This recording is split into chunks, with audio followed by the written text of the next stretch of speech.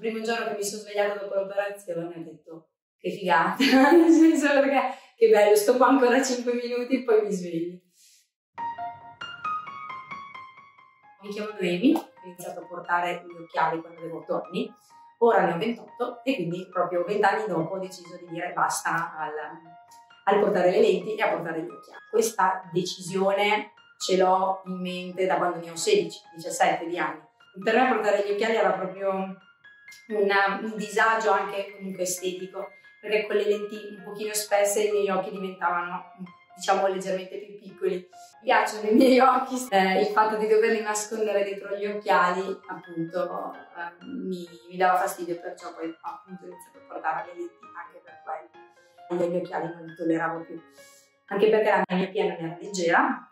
l'astigmatismo poco, ma la miopia era legge- non era leggera e quindi le mie lenti dovevano essere mh, comunque spesse e anche la montatura non poteva essere tra quelle che a me piacevano. Quindi non ero per niente contenta degli occhiali. Ho iniziato a portare le lenti a circa 18 anni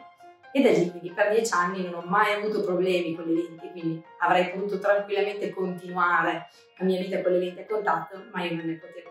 ogni anno comunque facevo i miei controlli e c'era sempre qualcosa che cambiava, quindi non potevo eh, diciamo accedere a, anche solamente alle, al, so, al, chiedermi ma domani posso andare a fare la visita per l'operazione?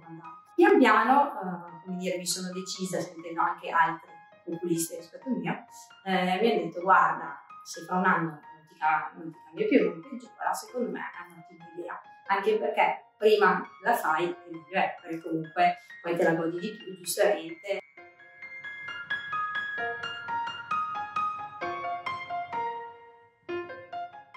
Sono arrivata anche un pochino spavaglia, ma questo è un po' il mio carattere, cioè nel senso ci sono altri problemi, questo per me non era un problema perché era veramente una liberazione. Sono arrivata serena anche perché il contesto me l'ha comunque permesso, perché non posso assolutamente lamentarmi né delle ragazze che, ci, che mi hanno accolto, che mi hanno fatto le visite all'inizio, né del dottore che comunque mi ha subito messo a mio agio, anche quando poi sono andata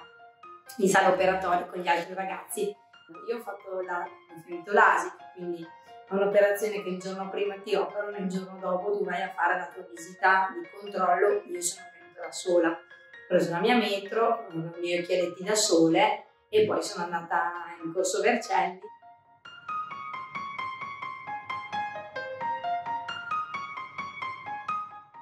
Eh, il mio consiglio è, senso, a parte che non ci sono aghi, io so, ho la fobia assoluta degli aghi quindi andare in ospedale, queste cose qua non mi sarei eh, fatta, diciamo, probabilmente toccare. Il post, quindi nel senso la vita dopo ti sembra veramente eh, molto più facile da gestire.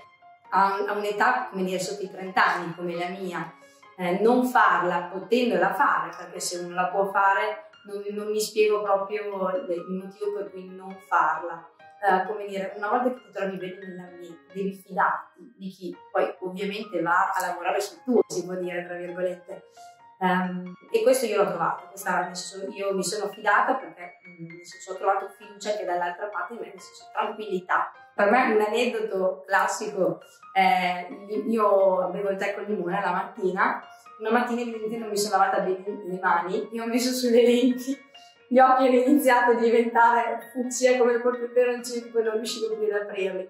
Pensate non avevo più questi problemi che non mi sono lavata bene le mani, non ho tolto bene la crema che avevo sulle mani prima di mettere le lenti e quant'altro, alla sera guardare la televisione e potersi mettere giù sul cuscino e dire ah, la vedo, io devo tenere sugli occhiali, non ho la lente che mi dà fastidio, cioè è impagabile una cosa del genere.